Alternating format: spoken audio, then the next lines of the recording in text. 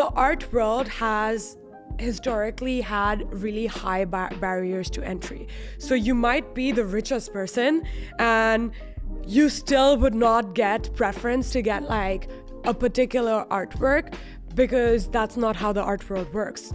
We cater to our long standing collectors before brand new collectors just throwing in the money because in the primary market, the prices are quite set